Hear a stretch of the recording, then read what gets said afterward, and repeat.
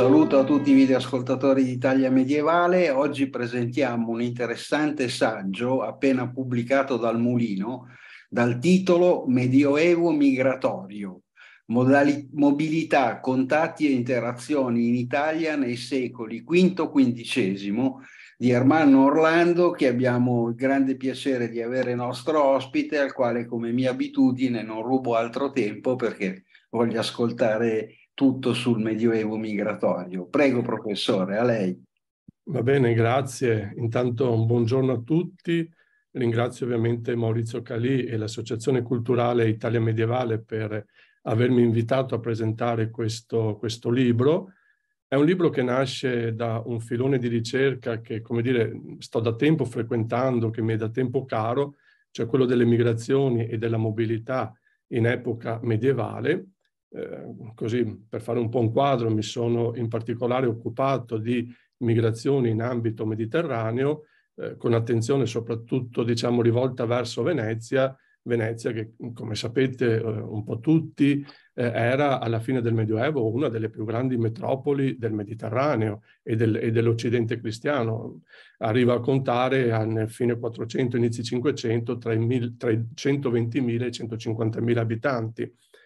E, e nel, mille, eh, scusate, nel 2014 è uscito un volume appunto di ricerca che metteva, dire, metteva, faceva il punto su una lunga ricerca su queste tematiche, pubblicato sempre dal Mulino, che si intitolava Migrazioni mediterranee, migranti, minoranze e matrimoni a Venezia nel basso medioevo, che come dire in qualche modo ha rappresentato per me un punto di arrivo, era appunto una, una grossa ricerca, ma anche di ripartenza poi in questo filone appunto di studi. Ecco, è evidente che, come dire, su, su queste tematiche c'è in questo momento un grande interesse storiografico. Eh, il,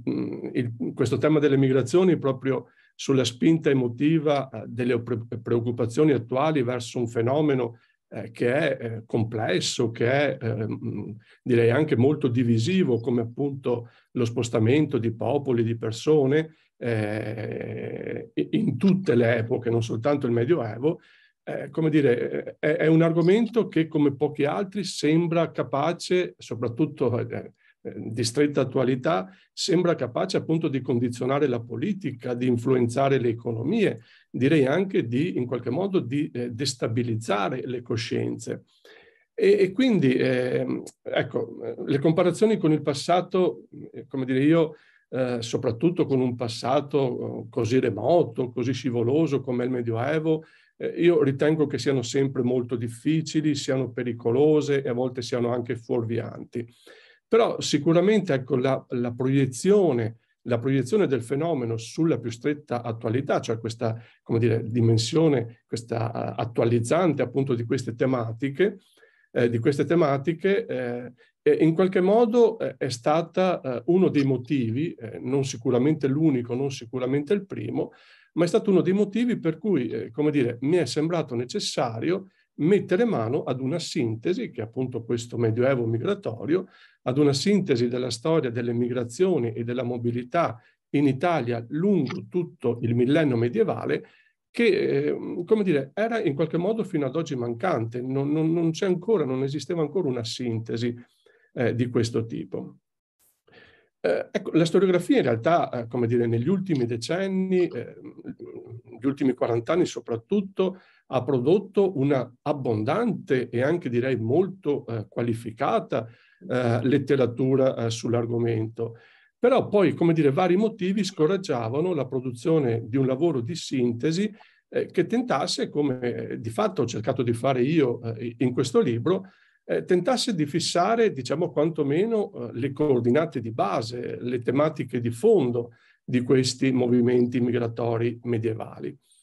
Eh, a dissuadere, eh, dal mio punto di vista, non era solo la vastità della materia e appunto questa ampia produzione storiografica, ma direi eh, anche e, e forse soprattutto, forse in primo luogo, la difficoltà di mettere insieme periodi e fenomeni in apparenza così diversi tra loro per natura, per dimensioni, per scala e per impatto sociale e per impatto su, sulle società del tempo.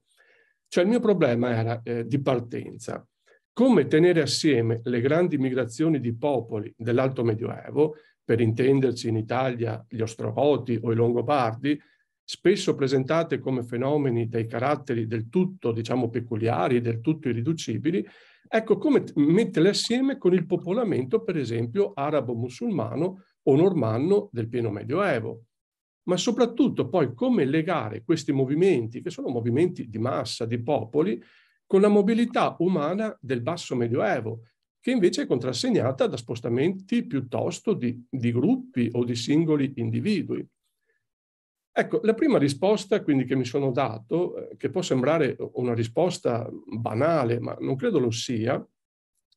ed è come dire, il motivo per cui ancora oggi la questione migratoria è eh, al centro dell'attenzione e delle preoccupazioni della nostra società, e lo vediamo quotidianamente, anzi in questi giorni eh, più, eh, più di prima,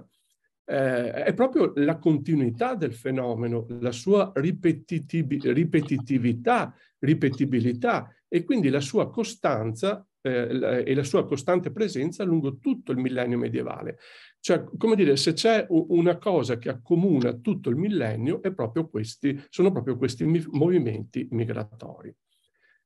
Più importante però forse mi è apparsa una seconda risposta che in qualche modo ha messo in luce, ha evidenziato ultimamente eh, la storiografia.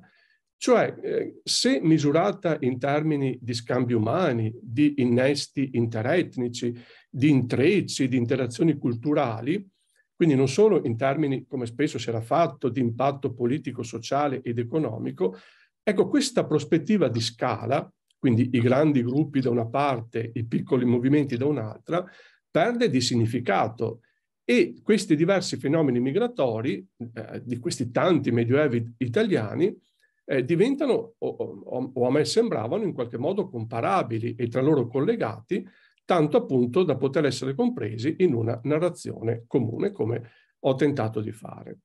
Ecco, una volta caduto questo scoglio delle dimensioni, ogni forma di interazione, da quella individuale appunto a quella delle grandi masse, acquisisce in qualche modo una stessa, eh, una, stessa una medesima dignità. Eh, ecco, non voglio, come dire, no, non voglio certo dire che le dimensioni, che i numeri sono importanti, ecco, questo, questo è chiaro. Però ecco, eh, eh, se, mm, possiamo anche, come dire, bypassare questo problema delle dimensioni perché tutti questi intrecci, tutte queste eh, eh, diciamo, contaminazioni com contribuiscono comunque a provocare innesti di civiltà, cambiamenti di cultura, ibridazioni etniche, che sono eh, argomenti su cui io eh, cerco di soffermarmi appunto in più punti del libro, nelle comunità, nelle società di ricezione. Quindi questo era un po' come dire, il punto di partenza e i miei problemi quando ho cominciato a ragionare su questo libro. Ho dovuto quindi fare delle scelte di fondo molto precise, cioè eh, muovermi fra queste varie forme di mobilità espresse dal medioevo migratorio senza, mh, direi, mh, troppo rigide sovrastrutture concettuali o semantiche, nel senso che per tentare una sintesi di un argomento appunto così complesso e così evocativo, eh, proprio perché impregnato, come dicevo, così impregnato, come dicevo all'inizio, di, di attualità, di umori, di impressioni, di sospetti, eh, come appunto le migrazioni medievali, eh, come dire, mi è sembrato opportuno liberarmi per quanto possibile di tutto quanto eh, potesse inibire il racconto o, o condizionarlo eccessivamente o costringerlo appunto all'interno di coordinate troppo precise, troppo severe, troppo restrittive. In questo modo, diciamo, diverse barriere sono venute a cadere quasi naturalmente, i numeri, dicevo, le distanze, ma anche le cause, le tipologie, la cronologia, appunto, che sono diventate delle variabili, variabili ovviamente importanti che eh, sono, come dire, eh, tengo sempre presente nel, nel libro, ma eh, come dire, no, senza più rappresentare dei paletti insormontabili e quindi imprescindibili per definire appunto, per misurare, per narrare queste migrazioni. E il primo impedimento, come dicevo, che è venuto a cadere è stato proprio quello della, della cronologia, cioè nel senso eh, che pur consapevole delle differenze, eh, direi quasi strutturali, tra la mobilità dell'alto e del basso medioevo, cioè, come dicevo, flussi migratori di interi popoli nel primo periodo e invece spostamenti di singoli individui o di, o di piccoli gruppi nel secondo periodo, eh, per quanto diciamo in progressiva crescita soprattutto nel 400, con le diaspore del 400, quindi eh, eh, che, ne, che, ne, so, l'espulsione di, eh, eh di, delle popolazioni mh, in fuga dai, dai Balcani davanti alla minaccia della conquista turco-ottomana, oppure dettate dalle diaspore religiose, per cui l'espulsione degli ebrei dalla Spagna, dal Portogallo, molti dei quali appunto poi giungono e arrivano in Italia. Però, eh, come dire, eh, ehm, pur tenendo presente di queste differenze strutturali tra i due periodi, eh, nel libro ho cercato di coprire l'intero periodo medievale, senza farmi quindi troppo imbrigliare da cesure periodizzanti. Pur essendo io un basso medievista, come dire, ho cercato di dare un quadro completo. Ecco, con la cronologia sono poi saltate, appunto, dicevo, le dimensioni della distanza, del tempo, della consistenza numerica nel senso che non ho fatto nessuna distinzione, eh, soprattutto, come dire, qualitativa, tra micromobilità, la mobilità a breve raggio e invece, come dire, le migrazioni sulle lunghe distanze, non ritenendo che solo queste ultime, eh, in quanto spesso implicavano un allontanamento definitivo o una rottura appunto con la patria d'origine, in qualche modo godessero di uno statuto giuridico o morale eh, superiore, quindi fossero più degne di essere raccontate. E questo vale tanto più per il Medioevo, dove, come sappiamo, semplicemente attraversare un contado, passare, che ne so, dal contado di Pisa a quello di Firenze o dal contado di Mantova a quello di Bergamo uh, o di Cremona, eh, in qualche modo significava abbandonare il proprio paese e trasferirsi in terra straniera un pisano a Firenze era uno straniero, eh, eh, per intenderci. Ecco, nemmeno ho fatto troppe distinzioni tra migrazioni temporanee e migrazioni permanenti, perché entrambe implicavano, seppure appunto su archi temporali diversi, spostamenti, cambiamenti, perdite, adattamenti, che poi si ripercuotevano sia sui migranti che sulle comunità di arrivo e di partenza. E quindi, come dicevo, anche la dimensione di scala ha perso di consistenza e spessore. Se misurati appunto in termini di scambi umani, di innesti interetnici, di intrecci, di legami interculturali, i numeri, eh, come dicevo già eh, all'inizio, eh, i numeri a me sembra perdono in gran parte di significato e ogni forma di interazione, da quella appunto individuale a quella dei gruppi o delle grandi masse, acquisisce, come dicevo, una propria dignità contribuendo a provocare quindi innesti di civiltà, cambiamenti di culture, ibridazioni etniche nelle società appunto di ricezione. Ecco, da ultimo poi anche, come dire, ho cercato di, di, utilizzare i termini, quindi anche qui non lasciarmi troppo condizionare dal lessico, il termine migrante, ma anche forestiero, ma anche straniero, nella sua accezione eh, polisemica, eh, più ampia, che quindi inglobava, ovviamente con tutte le contraddizioni e le congruenze del caso, eh, eh, inglobava una pluralità di contenuti e di significati. E per cui nel libro troviamo eh, il migrante economico, ma troviamo anche l'esule politico, troviamo il clandestino, ma troviamo anche il grande mercante o il professionista lontano da casa per periodi più o meno lunghi. Troviamo il, il vagabondo, ma anche l'intellettuale girovaco, troviamo il fuggitivo per motivi di religione, ma anche il profugo di guerra. Se posso, come dire, velocemente un po' sfogliare l'indice, sono appunto tutte tematiche e sono tutte figure che poi vengono, eh, eh vengono come dire, rappresentate nel libro. Per cui comincio all'inizio con, ovviamente con questi movimenti, con queste migrazioni di popoli, gli Ostrogoti e i Longobardi, poi il popolamento del, eh, del, periodo pieno medievale, quindi gli arabi in Sicilia e, e i normanni nel sud Italia, e poi comincia a delineare queste appunto figure di migranti, per cui il migrante economico eh, legato alla nuova spinta colonizzatrice dopo quella che la storiografia continua a chiamare la rinascita dell'anno 1000, i processi di inurbamento delle città e che cosa hanno comportato appunto a livello di spostamenti e di migrazioni. Il grande fenomeno, eh, e forse l'unico fenomeno, diciamo, di eh, migrazioni fuori dall'Italia, non all'interno, il grande fenomeno dei lombardi all'estero, eh, quindi di tutti questi grandi mercanti, grandi banchieri, grandi finanzieri che si, spo- si spostavano per ragioni di mercatura, per ragioni di finanza all'estero eh, e soprattutto i lombardi nelle, nell'Europa eh, diciamo occidentale, ma non solo, eh, per cui troviamo ancora una Rue de Lombard a, a Parigi o una uh, Lombard Street a Londra, solo per fare degli esempi, ma per esempio eh, genovesi e veneziani in tutto il Mediterraneo e non solo, perché anche genovesi e veneziani poi li troviamo anche nelle Fiandre, a Bruges, eh, in, in, eh, a Londra e così via. E poi, come dire, appunto la mobilità legata al lavoro, quindi i migranti economici, le migrazioni studentesche, quelli che chiameremmo forse anche oggi i cervelli in fuga, eh, le espulsioni politiche e quindi la stagione del fuoriscitismo e che cosa ha determinato appunto a livello di movimenti migratori. Eh, pensiamo appunto a, a, alla Bologna di Lambertazzi, ma soprattutto alla Firenze di Brunetto Latini e di Dante, di cui abbiamo celebrato l'anno scorso eh, i 700 anni.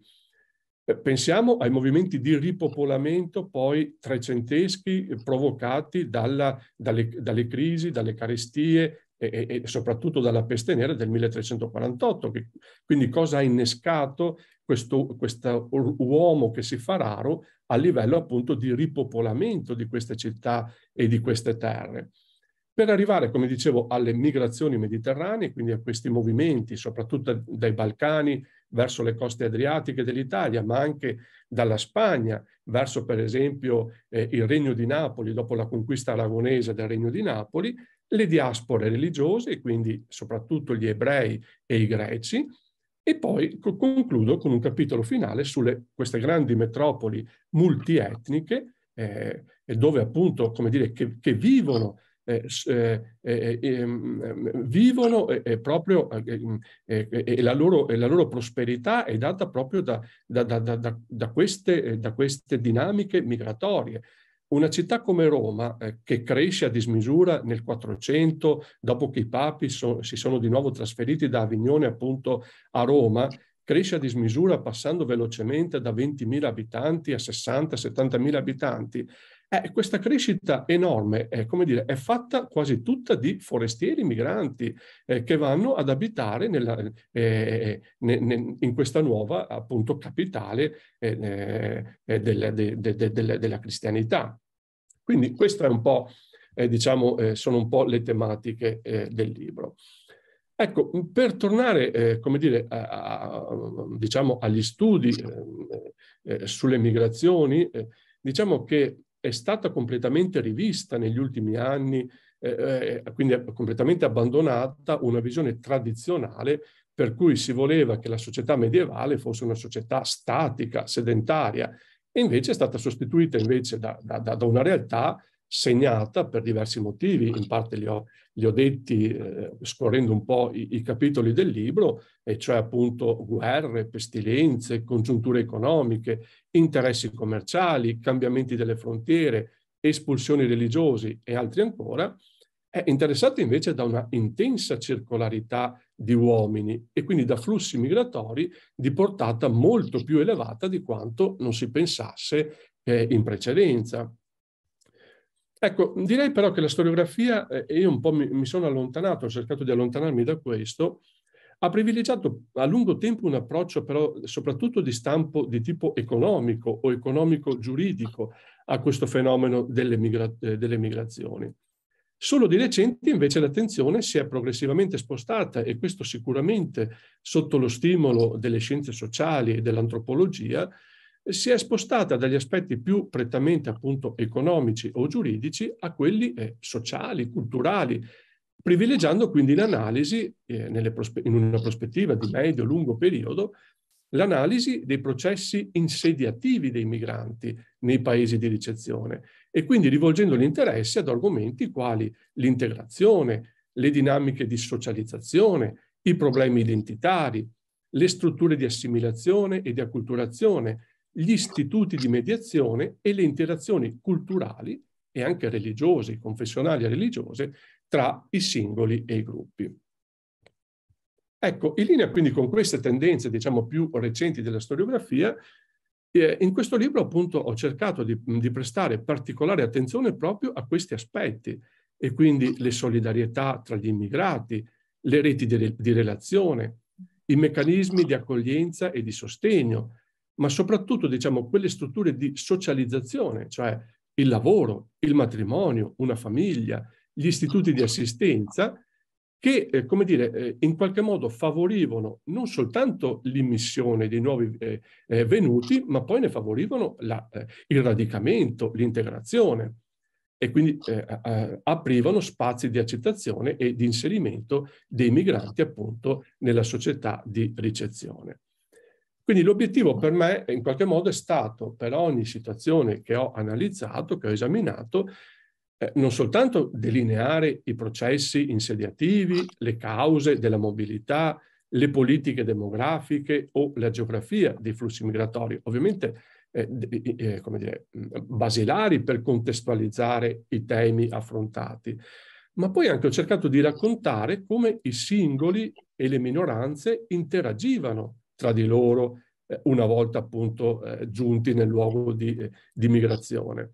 come comunicavano con le istituzioni e con il gruppo maggioritario, come percepivano se stessi e la società ospite e come poi agivano in contesti che poi dalle fonti noi vediamo che al di là di tutte le barriere, di tutte le differenze di cultura, di ideologia, di lingua, direi addirittura di confessione e di religione, come dire, erano contesti di stretta prossimità e di assidua frequentazione.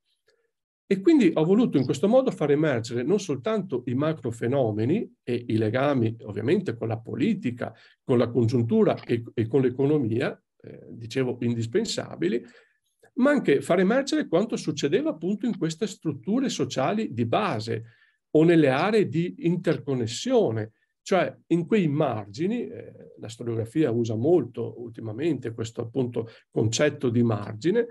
eh, in, in, quei margini appunto dove i confini culturali erano in qualche modo più rarefatti, le identità erano più porose e quindi dove gli spazi per i compromessi e le contaminazioni erano più eh, accentuati, più ampi e quindi come dire erano margini eh, più facilmente attraversabili. Eh, vengo quindi eh, un po' a, a, alle conclusioni eh, nel, nel, raccontare appunto questo, questo libro.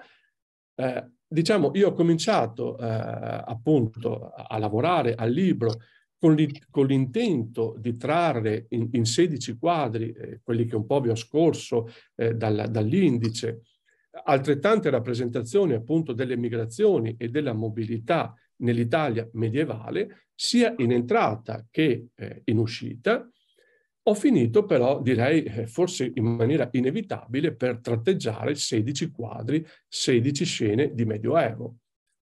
Le, le due cose infatti sono del tutto inscindibili. La storia del Medioevo, ma de, direi la storia tout court, è anche e soprattutto storia appunto di migrazioni, di spostamenti, di incontri, di rimestamenti, di interazioni, quindi di fusioni, di, di contaminazioni continue e ininterrotte tra popoli, culture, lingue e civiltà appunto differenti. E questo vale soprattutto per l'Italia, per la penisola italiana, che sappiamo posta al centro del Mediterraneo, alla congiuntura quindi di tre continenti, Europa, Asia e Africa, da sempre, sin da, da, dall'antichità più remota, attraversata da correnti migratorie e da spostamenti di popoli e persone che in qualche modo ne hanno poi ogni volta riplasmato e ridefinito le identità, il carattere, le personalità, mi verrebbe quasi da dire il genio di questa, di questa, eh, di questa civiltà italiana. Perché direi, se, dal mio punto di vista, su un fatto non si può in alcun modo dubitare, cioè questa natura ibrida complessa, stratificata del popolamento dell'età di mezzo e quindi i caratteri così intimamente e direi strutturalmente mobili, dinamici, pluralistici e multiculturali delle tante civiltà, perché di civiltà al plurale dobbiamo parlare, del Medioevo italiano. Ecco, questa è stata un po', diciamo, la genesi e, e gli obiettivi eh, eh, che mi sono dato scrivendo questo, questo libro. È molto interessante e anche molto istruttivo no? su, su come affrontare e vedere un fenomeno che in realtà c'è sempre stato. E, certo. e, però mi, mi, sorge una domanda, ma sì.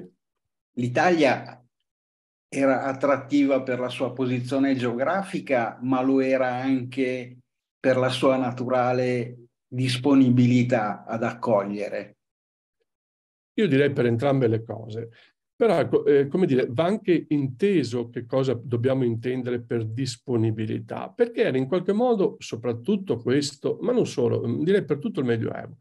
era in qualche modo una disponibilità interessata. Dobbiamo, come, come dire, eh, eh sempre ricordarci che, per esempio, ragioniamo un attimo su queste città eh, degli, de, italiane del pieno basso Medioevo sono città eh, in cui, eh, dire, i, i, tassi di mortalità sono sempre più alti di tassi di natalità. Per cui, dire, per mantenere eh, un equilibrio e anzi per aumentare, e, e, spesso le fonti ci dicono e le cronache ci raccontano che è il numero che fa l'abbondanza, che fa la ricchezza, che fa la potenza di una città. Ecco, per mantenere questi numeri in equilibrio o aumentare il, num il numero appunto di queste popolazioni,